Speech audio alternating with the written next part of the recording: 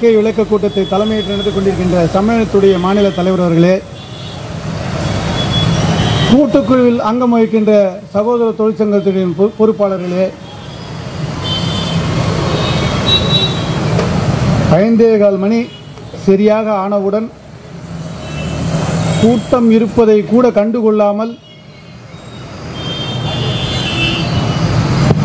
இந்த கூட்டத்தை விட்டு விலகிச் சென்றிருக்கின்ற பணியாளர்களே அதையெல்லாம் தவிர்த்து கூட்டம் மட்டுமே முக்கியம் என்று இந்த கூட்டத்தில் கலந்து கொண்டிருக்கின்ற மின்வாரிய பணியாளர்களே உங்கள் அனைவருக்கும் கூட்டுக்குழுவின் சார்பாக மாலை வணக்கத்தினை தெரிவித்துக் கொள்கிறேன். பேசும்போது உங்களுக்கெல்லாம் புரிஞ்சிருக்கும்னு நினைக்கிறேன். அஞ்சே காலுக்கு இன்னைக்கு பைய தூக்கிட்டு வீட்டுக்கு போயிடலாம். அப்படியே வீட்டில் இருக்க வேண்டியதுதான்.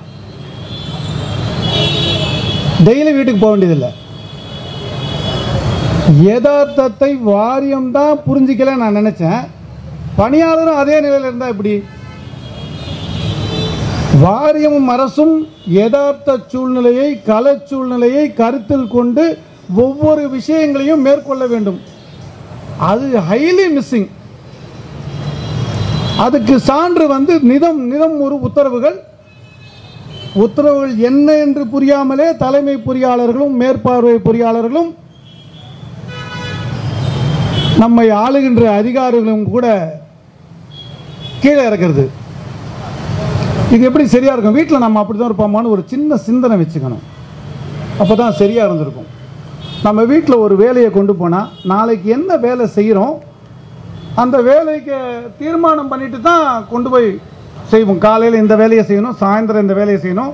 இதையெல்லாம் தாண்டி ஒரு ஃபங்க்ஷன் நடத்தினா கூட ஒரு பிளான் பண்ணுவோம். இது போன்ற சின்ன சின்ன விஷயங்கள் எதுவுமே இல்லாமல் ஒரு நிர்வாகத்தை ஒரு நிறுவனத்தை நிர்வாகம் செய்ய தெரியாமல் செய்து கொண்டிருக்கின்ற வாரிய நிர்வாகம் தலைமை நிர்வாகம். ஏன் இவ்வளோ வார்த்தைகள் சொல்கிறேன்னு கேட்டிங்கன்னா முன்னாடிலாம் ஏதோ ஒரு பிரச்சனைனா மேலே போய் பேசுவோம் தலைமை பொறியாளர்கிட்ட பேசுவோம். இப்போ யாருக்கிட்ட பேசுகிறதுனே தெரியல. ஏன்னா இந்த செவருக்கிட்ட பேசுகிறதும் ஒன்று இப்போ இருக்கக்கூடிய தலைமை பொறியாளர்கிட்ட பேசுறது ஒன்று பிரயோஜனம் ஏன்னா அவர்களை தக்க வைத்துக் கொள்வதற்காக எல்லா விஷயங்களையும் வாரியத்துடன் அரசுடன் இணைந்து இந்த வேலைக்கு வேற பேர் வச்சுக்கலாம். தலைமை பொறியாளர் இல்லை. அதுக்கு பேர் வேற. சரி ரைட்டு நீங்கள் இன்னைக்கு போயிடுவீங்க வேற ஒருத்தர் வருவாங்க. கீழே இருந்து தானே இவங்கெல்லாம் வேலை வந்திருப்பாங்க. நான் இயக்குனர்கள் உட்பட சொல்கிறேன் அவர்களுக்கான போராட்டம் தான் நாங்கள்லாம் பண்ணிட்டு இருக்கோம் எல்லாம் சேர்ந்தாலும் கூட இந்த கோரிக்கை அனைத்துமே அவர்களை சான்றது. ஆனால் அப்படிலாம் இருக்கிற மாதிரி எனக்கு தெரியல. அவங்க என்னமோ வேறு மேனேஜ்மெண்ட்டு கீழே இருக்கிறவங்கெல்லாம் வேறு மேனேஜ்மெண்ட்டு மேலே என்ன கேட்குறாங்களோ கண்ணு கூட மூடிக்கிறாங்களா திறந்துக்கிறாங்களான்னு தெரியல. கையெழுத்து மட்டும் கரெக்டாக போடுறாங்க. அந்த இடத்துல கையெழுத்து போட்டு ஒரு உத்தரவை கீழே கொடுக்குறாங்க. இவங்களுக்கெல்லாம் நிஜமாகவே ஆங்கிலம் தெரியுமான்னு கூட எனக்கு தெரியல. எனக்கு அதுலலாம் வருத்தமாக இருக்குது அந்த வார்த்தைகளுக்கு அர்த்தம் தெரியுமா தெரியாதா? கண்மூடித்தனமான உத்தரவுகளை கீழே கொண்டு சென்றால் அது எப்படி கொண்டு செல்ல முடியும்? குரு பணியாளர்கள் எவ்வாறு செயல்பட முடியும்? இந்த சின்ன சிந்தனை கூட இங்கே இருக்கிறவங்களுக்கு இல்லைன்னா எனக்கு முன்னால் பேசியவர் சொன்னார் இன்னைக்கு அலுவலகமே வாட்ஸ்அப்பில் தான் நடக்குது. நிஜமாக நடக்குதான்னு கேட்டிங்கன்னா இல்லை. ஒரு பில்லரை திறந்து ஃபோட்டோ போடுறாங்க முக்கியமாக போட்டு நான் வேலை செய்யணுமா இல்லையான்னு கூட கவலை கிடையாது. பில்லரை திறந்து ஃபோட்டோ போட்டு அது நிஜமாவே அந்த பில்லரில் வேலை செய்கிறோமா இல்லையான்னு பார்க்கறதுக்கு கூட இவங்களுக்குலாம் அறிவு இருக்குதானே தெரியல எனக்கு. ஃபோட்டோ போட்டால் போதுமானா ஃபோட்டோ போட்டுக்கிட்டே இருக்கலாம். இதை மாதிரி என்ன டெய்லி மீட்டிங் என்னதான் மீட்டிங் போடுவானுங்கன்னே தெரியல சார் காலையிலேருந்து சாயந்தரம் வரைக்கும் மீட்டிங் போடுறாங்க. அப்படி என்ன பேசுவாங்கன்னு தெரியல. மீட்டிங் போடுறோன்னா ஏதோ ஒன்று நடக்கணும்ல. எதுவுமே இல்லை. எதுவும் நடக்க மாட்டேங்குது. ஆனால் மீட்டிங் மட்டும் போடுறாங்க. முதல்ல இந்த மீட்டிங் போடுறதை நிறுத்தினாலே இந்த நிர்வாகம் உருப்படுன்றது எங்களோட முழுமையான கருத்து. இதை நிறுத்தணும். ஒருவேளை எனக்கு இன்னொன்று கூட தோணுச்சு. இவங்களால எதுவுமே செய்ய முடியல. மீட்டிங்கை மட்டும் போடுவோம் செய்கிறாங்களான்னு கூட தெரியல. ஏன்னா வாட்ஸ்அப்பில் அப்படி தான் வருது. பார்த்துக்கிட்டே இருக்கேன் சார். தப்புன்னு டெலீட் ஆகுது. இப்போ ஒரு நாப்பு கண்டுபிடிச்சி தேடி பிடிச்சி போட்டிருக்கேன். டெலீட் ஆனால் அப்போ எப்படி பார்க்கறதுன்னு சொல்லிட்டு. திருட்டு பசங்களாக இருக்கிறானுங்க. என்ன போடுறேன் அது அவ- எப்படி என்ன போடுறது? என்னால் கீழே இது செய்யன்னு சொல்ல முடியாத அளவுக்கு நான் இருக்கிறேன். நான் தகுதியாப்போ அந்த இடத்துல இருக்கலாமா நான்? வீட்டில் என்னோட ஒய்ஃப் சேர்க்க மாட்டாங்க. வீட்டில் பையன் வீட்டில் சேர்க்க மாட்டாங்க வெளில போயிடுவாங்க இதுக்கு எதுக்கு நீ இருக்கிறேன்னு கேட்பாங்க. நம்மளால் ஒரு தீர்மானம் பண்ண முடியல. வீட்டில் ஒரு பிரச்சனையை என்னால் கான்சென்ட்ரேட் பண்ணி எதுக்கு நீ வீட்டுக்கு வர? லாட்ஜா நடத்துகிறோன்னு கே கேட்பாங்களா இல்லையா சார் அதே தானே ஆஃபீஸு யாரை நம்பி வேலை செய்கிறோம் எதுக்காக வேலை செய்கிறோம்னு ஒரு விஷயம் வேணாமா? இவங்களாம் என்ன நிஜமாகவே நினச்சிட்டு இருக்காங்கன்னு தெரியல. சமீப காலமாக பார்த்தீங்கன்னா புது இப்போ வியாதி. ஆதார் கார்டு புரியல எனக்கு. அமைச்சர் என்ன சொல்கிறாரு நான் பேசினா பிபின்றாரு. எனக்கு அதுக்கு அர்த்தம் புரியல. அவர் பேசுனா நம்மளுக்கு பிபி வருமா? இல்லை வாரிய உத்தரவை சொல்கிறாரான்னு தெரியல. அவர் ஒரு வீடியோ போடுறாரு. இதன்படி நடந்துக்கோங்கட்டு இவர் சொன்னதுக்கு அப்படியே ஆப்போசிட்டாக அந்த வாரியத்தில் உத்தரவு கொடுக்குறாங்க. கீழே விழுவான். பைத்தியம் முடிச்சும் போயிடும் சார். அதில் ரெண்டு ஏஐ கூட செத்து போயிட்டாங்க. போன வாரத்தில். திருச்சியில் ஒரு ஏயும் தஞ்சாவூரில் ஒரு ஏயும் செத்து போயிட்டார். வேலை செய்ய முடியல. ஒரு ஈ செத்து போயிட்டார். ப்ராக்டிக்கலாக ஏன்னா இவங்களுக்கு எதுவுமே பேச முடியலன்ட்டு. நான் சங்கம்ன்றதுனால பேசலை. பொதுவாகவே பேசுகிறேன் மன உளைச்சல்.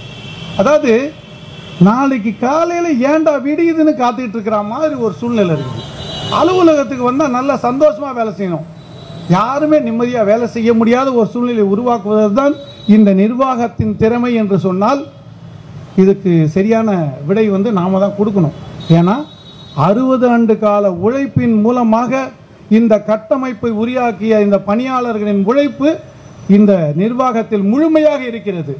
நாம் அடுத்த ஜென்ரேஷனுக்கு என்ன விட்டுட்டு போகிறோன்றது மிகப்பெரிய கனவாகத்தான் இன்று இருக்கிறது. தயவு செஞ்சு இதெல்லாம் புரிஞ்சுக்கணும். இதை ஏதாவது ஒரு வகையில் கொண்டு சேர்க்க வேண்டிய கட்டாயம் இருக்குது வாரியத்தோட பேசுகிறோம் சார். ஏன்னா நான் இது வரைக்கும் பார்த்தது என்னோடய முப்பது ஆண்டு கால அனுபவத்தில் தொழிற்சங்க அனுபவத்துலேயும் சரி இதுக்கு தீர்வு காண முடியும் இதுக்கு தீர்வு காண முடியாது ரைட்டு. இதை பின்னாடி பண்ணிக்கலாம். இப்படி பேசித்தான் பார்த்துருக்கேன். நீங்கள் என்ன வேணாலும் பண்ணுங்கள் நான் உங்கள் கூட வந்து உட்காந்துக்கிறேன். இது பொழப்பா இது? புதிய சரியில்லை இதெல்லாம். அப்படின்னா என்ன அர்த்தம்? அப்போ ஏதாவது ஒன்று இவர்களை உணர்த்தும் வகையில் நாம் கொண்டு செல்ல வேண்டிய கட்டாயம் இப்போ நம்மக்கிட்ட இருக்குது. தொழிற்சங்கள் எந்த தொழிற்சங்கமும் உறுப்பினர்களை வந்து முன்னாடி நிற்க வைக்காது. அப்படி உறுப்பினர்களை முன்னாடி நிற்க வைக்கணும்னு சொன்னோம்னா பிரச்சனையோட தாக்கம் அதிகமாக இருக்கிறது என்று அர்த்தம். இதையெல்லாம் நீங்கள் வந்த பொறியா வந்த பணியாளர்கள் மட்டுமல்ல வராத பணியாளர்களுக்கு சொல்ல வேண்டிய பொறுப்பு இங்கே உட்கார்ந்திருக்கக்கூடிய பணியாளர்களுக்கு இருக்குது இதை ஒரு ஒரு தொழிற்சங்க தலைவர்கள் செய்ய முடியாது. எனக்கு கூட நிறைய வேலை இருக்குது. காலையில் ஒரு மீட்டிங்கு மத்தியானம் ஒரு மீட்டிங் இங்கே உட்கார்ந்துருக்கக்கூடிய பொறுப்பாளர்கள் அனைவரும் இன்று மூன்றாவது கூட்டமாக இதை நடத்தி கொண்டு வருகிறார்கள். மூன்றாவது கூட்டத்தில் கலந்து கொண்டு வருகிறார்கள். நம்மளால் ஒரு மீட்டிங் இந்த மீட்டிங்க்கு வந்து கலந்துக்க முடியல. எனக்கு வந்து நான் பஸ்ஸை விட்டுருவேன் ட்ரெயினை விட்டுருவேன் வீட்டில் வேலை அந்த வீட்டு வேலையை தான் பார்க்கணும். டெய்லி கல்யாணம் அட்டன் பண்ணலாம் காது குத்து அட்டன் பண்ணலாம் எல்லா விஷயங்களும் அட்டன் பண்ணலாம். இதை தயவு செய்து மனதில் ஆழமாக பதிந்து வைத்துக் கொள்ளுங்கள். இது நமக்கான விஷயம். வெளியில வண்டியில நிறைய பேர் போயிட்டு இருக்காங்க சில பேர் நின்று பார்க்குறாங்க. இது நமக்கான போராட்டம் அல்ல. அவர்களுக்கான போராட்டம் வாரியம் மூலமாக பணியாளர்களாக நாம் நடத்தி கொண்டிருக்கிறோம் என்பதை அவர்கள் உணர வேண்டும். இன்னைக்கு ஒரு யூனிட் எவ்வளவு பணம் கட்டுறாங்கன்னு தெரியணும். இன்னைக்கு வீட்டில் சுடு தண்ணி காய்ச்சணும்னா கூட கெட்டில்ன்றதையே மறந்தாச்சு. எலக்ட்ரிக் கெட்டில் தான் கேஸ் எல்லாம் மறந்தாச்சு. எலக்ட்ரிக் ஸ்டவ் தான். இப்படி வச்சா ஹீட் ஆகிடும் ரெண்டு நிமிஷத்தில் சூடாக தண்ணி எடுத்துருவோம். வாட்டர் ஹீட்டர் ஆன் பண்ண அணைக்க கூட மாட்டோம். பெரும்பான்மையான விஷயங்கள் நமக்கு எலக்ட்ரிக் சாதனங்கள் தான். அப்போது மின்சார சாதனங்கள் இருக்கும்போது எவ்வளோ கன்சம்ஷன் ஆகும் எவ்வளோ தேவைப்படும் அதுக்கு என்ன பணம் கட்டுவோம்?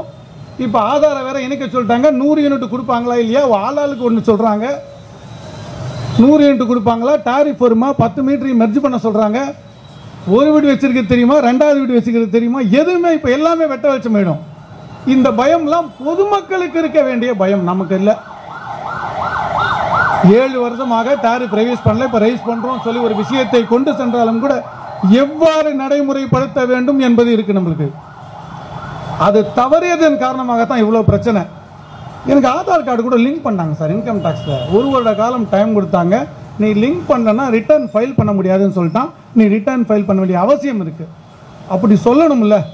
எனக்கு தைரியம் இருந்தால் நான் அப்படி தான் சார் சொல்லணும். நீ ஆதார் கார்டு லிங்க் பண்ணலாம் நீ பணம் கட்டுறது வாங்க மாட்டேன். சப்ளை கட் பண்ணுவேன் சொல்லுவதற்கு தைரியம் இருக்கிறதா? இந்த நிர்வாகத்திற்கும் அரசிற்கும். சொல்லணும் சார் சொன்னீங்கன்னா கரெக்ட் நீங்கள் ஏதோ ஒன்று நினைத்து கொண்டு அந்த விஷயத்தை மின்வாரிய பணியாளர்கள் மூலமாக நடைமுறைப்படுத்த வேண்டும் அந்த செயலை என்று சொன்னால் கண்டிப்பாக அது ஃபெயில்யூர் தான் ஆகும். திடீர்னு ஒன்று சொல்கிறீங்க இன்னைக்கு காலையில் ஒன்று உத்தரவு சொல்கிறீங்க நாளை காலையில் ஒன்று சொல்கிறீங்க எப்படி வேலை செய்கிறதுன்னு தெரியல நம்மளுக்கு. இதை தாண்டி பார்த்தீங்கன்னா எல்லாரும் சௌகரியமாக ஒன்று நினச்சிட்டு இருப்போம். அதை பல மீட்டிங்கில் நான் சொல்லியிருக்கேன். தனியார் மயம் வந்தால்தான் நல்லா இருக்கும்னு பொதுமக்கள்லாம் நினச்சிங்கன்னா அது தவறான எண்ணம் முதல்ல. இன்றைக்கி வந்து பாம்பே தான் முதல்ல தய- தனியார் மயம் டாடா பவர்ன்றது பல வருடங்களுக்கு முன்பாக வந்த விஷயம். அதுக்கப்புறம் தான் அங்கே Adani power one and two வந்தது. அதை பழகிய பழகியவர்கள் அனைவருமே இப்போ ஏன் போராட்டத்துக்கு போனாங்க மகாராஷ்டிராவில் எல்லா எண்டும் அதானி மூலமாக டெண்டர் விடப்பட்டு முழுவதுமாக தனியார் மையம் என்று சொல்லும் பொழுது அந்த மின்வாரியத்தின் எண்பதாயிரம் பணியாளர்கள் நூறு சதவீதம் இரவு பன்னிரண்டு மணிக்கு முழுவதுமாக அடைத்து விட்டு வீதிக்கு வந்தன நேரம்.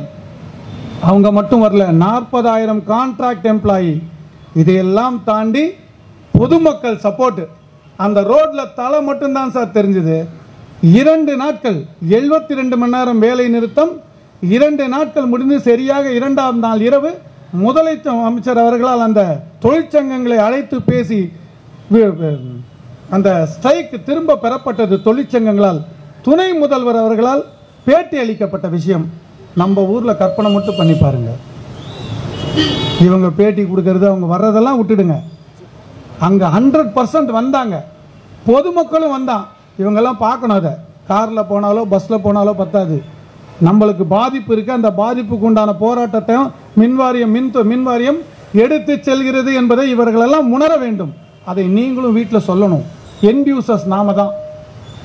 இந்த டேரி ரிவிஷன்ல தனியார் மையம் என்று சொன்னால் என்ன சொல்கிறான்னு கேட்டிங்கன்னா ஒன்றும் இல்லை சார் ரிலையன்ஸ் அப்படி தான் ஆரம்பித்தான் எப்படி ஆரம்பித்தான்னா நான் நேராக தோட்டத்துலேருந்தே காய்கறி கொண்டு வந்து உன் வீட்டில் சேர்க்குறேன்னா நம்ம வேற எங்கேருந்து நான் வாங்குறோம்? தோட்டத்தில் விளையிறது தான் எல்லாரும் வாங்குறாங்க. அதில் ஒன்றும் மாற்றமே இல்லை. சொன்ன உடனே என்ன பண்ணால் எல்லாரும் டிபார்ட்மெண்டல் ஸ்டோரில் ஸ்டோரில் போய் வாங்க ஆரம்பித்தோம் பக்கத்தில் நாலு கடை வச்சுருந்தான் தள்ளு வண்டியில் வச்சுருந்தாங்க. அதையெல்லாம் வாங்குவதற்கு நாம் போவே இல்லை. ஏன்? பத்து ரூபாய் விற்க வேண்டிய கத்திரிக்காய் அவனிடம் மூன்று ரூபாய்க்கு விற்கப்பட்டது. எல்லாரும் அங்கே போனோம். மூணு ரூபாய்க்கு கொடுத்தான். சந்தோஷமாக வாங்கினோம்.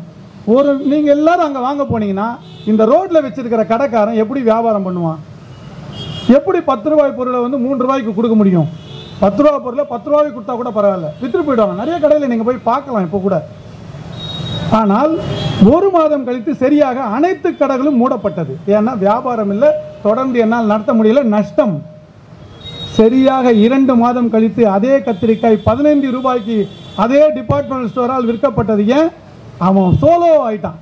யார் காரணம் இதுக்கு? நீங்க தான் சார் காரணம்.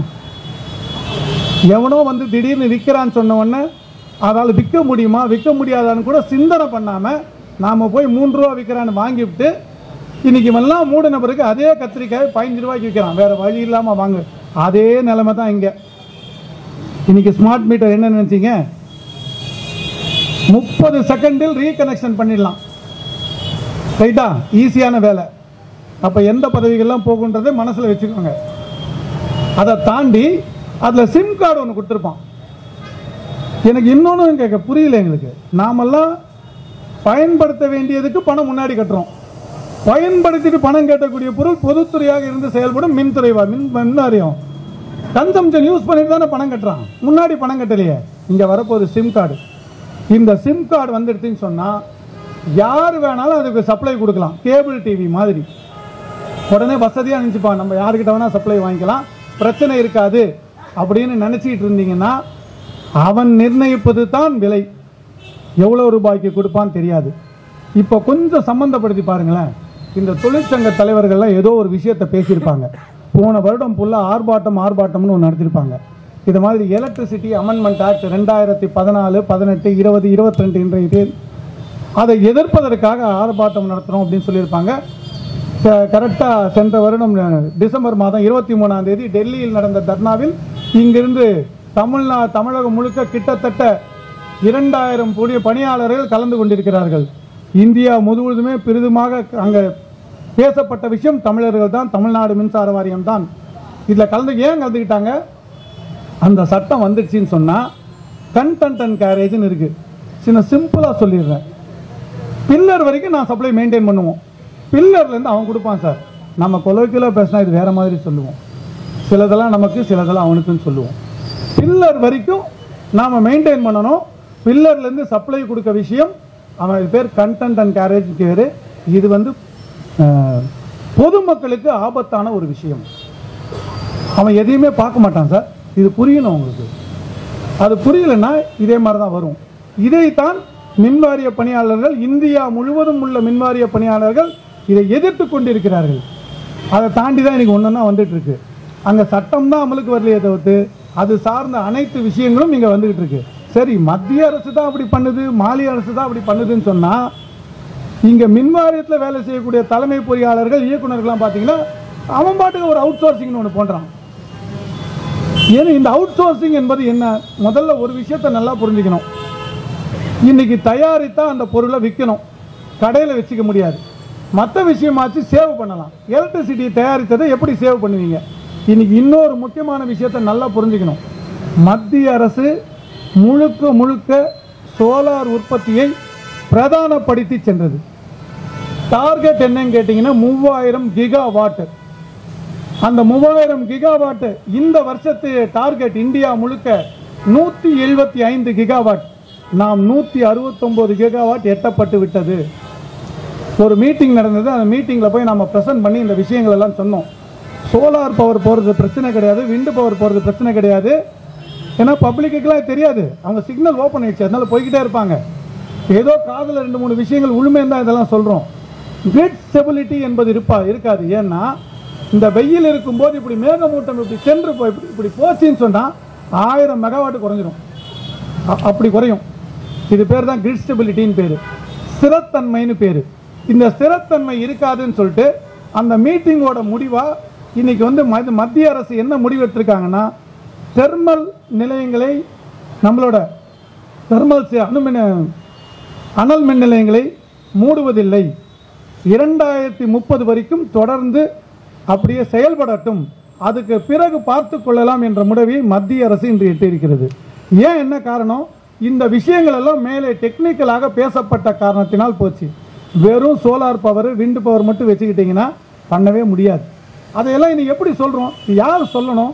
நம்ம மேலே உள்ள அதிகாரிகள் இந்த விஷயங்களை எல்லாம் மேலே கொண்டு சென்று இந்த அந்த விஷயத்தையும் சொல்லணும். இதெல்லாம் நாம் போய் சொல்கிறோம் சொன்ன பிறகுதான் கவர்மெண்ட்டுக்கு போய் இன்னைக்கு நிறுத்தி தெர்மல் ஸ்டேஷன்ஸ் நிறுத்திருக்கான் ஏன் தெர்மல் ஸ்டேஷன் சொல்கிறேன்னா இன்றைக்கி தெர்மல் ஸ்டேஷன்ஸில்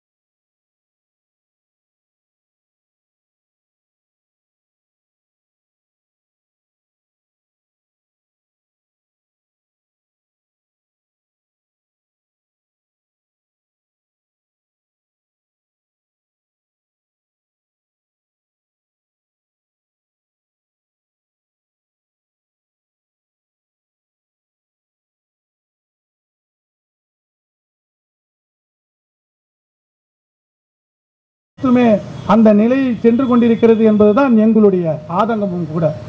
இன்று அது மாதிரி தான் போயிட்டு இருக்கு இன்னைக்கு கார்பரேஷன் பிடபிள்யூடி எடுத்துக்கோங்க. ஏஇ ஏடியை தவிர வேற யாரும் இல்லை. நம்ம கிட்ட எல்ஐ கேடர் மாதிரி ரெண்டு பேர் இருக்காங்க. மீதி எல்லாம் கான்ட்ராக்ட் தினம் நான் நேரடியாக சந்தித்துக் கொண்டிருக்கின்ற விஷயம் தயவு செய்து மனதில் வைத்துக் கொள்ளுங்கள். இதெல்லாம் நீங்க வந்து நீங்க உங்களுக்கு மட்டும் இல்லை எல்லாருக்கும் சொல்லணும். இந்த விஷயங்கள் எல்லாம் மேலே எடுத்து வைக்கப்பட்டுள்ளது அது மட்டுமல்லாமல் நீங்கள் என்ன பண்ணணும்? இப்போ வந்து அவுட் சோர்சிங் போகிறாங்க அப்படின்னு சொன்னீங்கன்னா இன்றைக்கி ஒரு விஷயம் லேட்டஸ்ட்டாக நியூஸ் கேள்விப்பட்டது. இங்கே ஒரு மேற்பார்வை பொறியாளர் இருக்கிறாங்க. இந்த ஆப்ரேஷன் சர்க்கிள்லாம் பார்த்துக்கிறதுக்கு. அவங்க ஏதோ விஷயங்களை அவுட் சோர்சிங் அஞ்சு பி அஞ்சு பிபியை வித்ட்ரா பண்ணோன்னு நண்பர் சிவகுமார் அவர்கள் பேசிவிட்டு சென்றார்ல அதை மாதிரி ரெண்டு துணை மின் நிலையங்களுக்கு இந்த விஷயங்களை மேற்கொள்வது என்று நடைமுறை செய்து கொண்டிருக்கிறார்கள். அதுக்கு உண்டான விஷயங்கள் எல்லாம் நடைபெற்று வருகிறது. சென்னை சிட்டியில் உள்ள இரண்டு துணை மின் இதோ மாம்பழத்தில் ஒன்று இருக்குது புளியந்தோப்பில் புதுசாக இப்போ கமிஷன் பண்ணியிருக்காங்க. இதெல்லாம் கமிஷன் பண்ணாங்கன்னு சொல்லக்கூடாது. வெளியில் சொன்னால் கேவலமாக இருக்கும். அதுக்கு எல்லாரும் போய் பூஜை வர போடுறாங்க. டைரக்டர்லேருந்து ஒரு போய் நிற்கிறாங்க அது பேர் கமிஷனிங்கானே எனக்கு தெரியல. Two thirty KV commissioner two thirty KV supply வரணும்ல. ஒன் டென் கேவி கொடுத்து மெம்ஆர்டி ஸ்பெஷலில் டெஸ்ட் பண்ணுற மாதிரி ரிவர்ஸ் சார்ஜ் கொடுத்து கமிஷன் போட்டிருக்கிறான். இந்த சேர்மன் திட்டியம் சார் இந்த கமிஷனிங்லாம் என்ன கூப்பிடாதீங்கன்ட்டாரு. ரொம்ப கேவலமான சூழ்நிலை. இது யாருக்காக சாதகம் பண்ணுறதுக்கு இவங்கெல்லாம் செய்கிறாங்கன்னே தெரில முதல்ல வாரியத்திற்காக வேலை செய்யிட்டவங்களெல்லாம் அப்படி இருந்தால் தான் இதெல்லாம் செய்யணுன்றது தான் நம்ம இவ்வளோ விஷயங்களை பேசிக்கிட்டு இருக்கோம். இந்த மாதிரி அவுட் சோர்சிங்காக இரண்டு துணை மண்டலங்களும் முழுவதுமாக அவுட் சோர்சிங் விடுவதற்கான ஏற்பாடுகள் அங்கே தயார் செய்யப்பட்டு வருகிறது. அடுத்த கட்ட போராட்டம் நம்ம அதுக்கு போக வேண்டிய கட்டாயம் இருக்கும். ஆனால் நூற்றி நாற்பத்தி ஆறு துணை மின்னியங்களுக்கு இன்று வரை பதவி அனுமதிகள் கொடுக்கப்படவில்லை. இதெல்லாம் நீங்கள் தெரிஞ்சுக்கணும். இதில் ஒரு காலம் கொடுத்துருப்பாங்க. புதிதாக முத்தரப்பு ஒப்பந்த அடிப்படையில் பதவிகளை அனுமதி அனுமதித்திருக்கேன்னு சொல்லி ரெண்டு வரியில் சொல்லியிருப்பாங்க.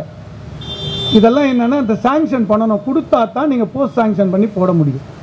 இல்லைன்னா பண்ண முடியாது. இப்போ நான் சொல்கிற ரீடிப்ளாய்மெண்ட்லாம் இதில் வரக்கூடிய விஷயங்கள் தான். இந்த பதவி அனுமதி எங்கே இப்போ தனசேகரன் அவர்கள் சொல்லும்போது எல்லாமே அரசிடம் கொண்டு கேட்க வேண்டும். எதுக்கு சார் இவங்ககிட்ட கேட்கணும்? மின் வாரியம் ஆரம்பித்த பொழுதுலேருந்து எனக்கு தனியாக தனி தனி பவர் அந்த ரியல் பவர்னால் எங்களுது தான் ஏன்னா ப்ராஜெக்டோட காஸ்ட் அதிகம். நான் தனியாக வாரிய கூட்டம் நடத்தி அந்த வாரிய கூட்டத்தில் அரசிலிருந்து மூணு தரப்பு உறுப்பினர்கள் வராங்க. ஒன்று ஃபினான்ஸ் இண்டஸ்ட்ரி எனர்ஜி மூன்று துறைகளிலிருந்து அங்கே தனியாக ஐஏஎஸ் வராங்க. அங்கே வச்சு அனுமதி பெற்ற பிறகுதான் அந்த ப்ராஜெக்ட் எல்லாம் அனுமதிக்கப்படுகிறது. அது போன்ற அனைத்து விஷயங்களும் அனுமதிக்கப்படுகிறது. ஆனால் இன்றைக்கி அது இருந்தால் கூட எதுக்கு இவங்கிட்ட வாங்கணும் அப்படின்றது தான் அதில் என்ன சொல்கிறான் ஒரு சாராம்சம்?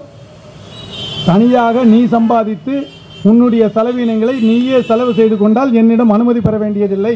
அப்படின்னு சொல்கிறான் எஸ் எங்கிட்ட விட்டு நாங்களே பார்த்துக்கிறோம். நீ மற்ற விஷயங்கள்லாம் வரக்கூடாது. டெண்டர்லேருந்து பொருள் விடுறது நான் பார்த்துக்கிறோம் நீங்கள் வரக்கூடாது. இன்னைக்கு ஒரு ப- ஒரு விஷயத்தை முடிச்சு எவனுமே வரமாட்டேங்கிறான் டெண்டர்காரன் ஏன் வரமாட்டேங்கிறான்? அதெல்லாம் அதுக்கு ஒரு ப்ரொசீஜர் அடாப்ட் பண்ணி அந்த ப்ரொசீஜரை கையாண்டால் மட்டுமே அவர்களுக்கு அந்த பணம் வந்து சேரும். இன்னைக்கு சின்ன லெவல் டெண்டர் எல்லாம் வெளியில் போயிட்டான் சார்.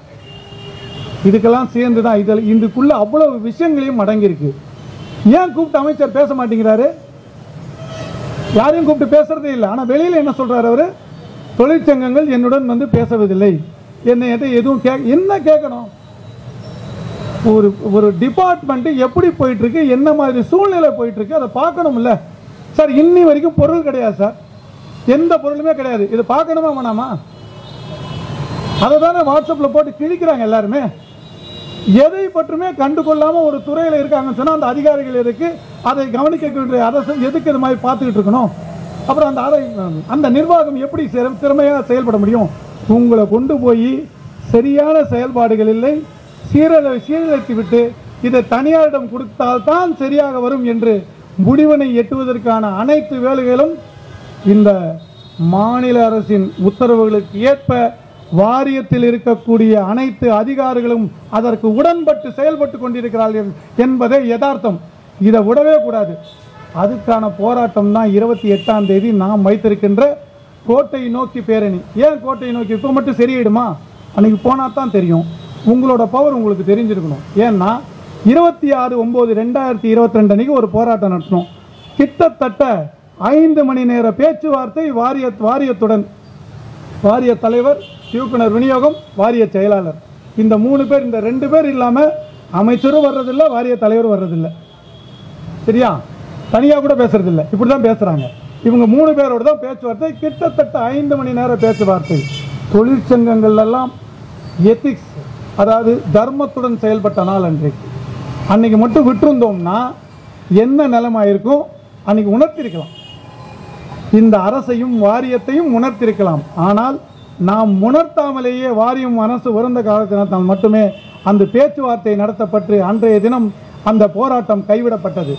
இருந்தாலும் இரண்டொரு நாள் இரண்டொரு வாரம் கூச்சமே இல்லாமல் இரண்டொரு வாரம்னா பதினஞ்சு நாளில் கேட்டுறாதீங்கன்னு வேறு ஒரு தகவல் சொல்கிறாங்க இதெல்லாம் எப்போ முடியும் எப்போ வரும்ன்றது தெரியாத ஒரு சூழ்நிலையில் போய்கிட்டு இருக்கக்கூடிய ஒரு விஷயத்தை இதையெல்லாம் முறியடிக்க வேண்டிய நாள் இருபத்தெட்டு மூணு இரண்டாயிரத்தி இருபத்தி மூணு. அனைவருமே தலைமையகத்தில் வந்து சேர வேண்டிய நாள். இதை வந்து தொழிற்சங்கங்கள் மீண்டும் மீண்டும் உங்களை அழைக்க வேண்டிய அவசியம் இருக்காது என்ற நம்பிக்கை எனக்கு இருக்கிறது. ஏன் என்று சொன்னால் நீங்கள் எல்லாம் பொறுப்போடு செயல்படுவீர்கள். கண்டிப்பாக அதிகாரிகள் மாற்று இல்லாமல் சிறந்த பணியாளர்களாக தொழிற்சங்கங்களுக்கு மிகுந்த ஒத்துழைப்போடு செயல்படுவீர்கள் என்ற நம்பிக்கையோடு நான் அனைவருக்கும் நன்றி கூறி நிறைவு செய்கிறேன். நன்றி வணக்கம்.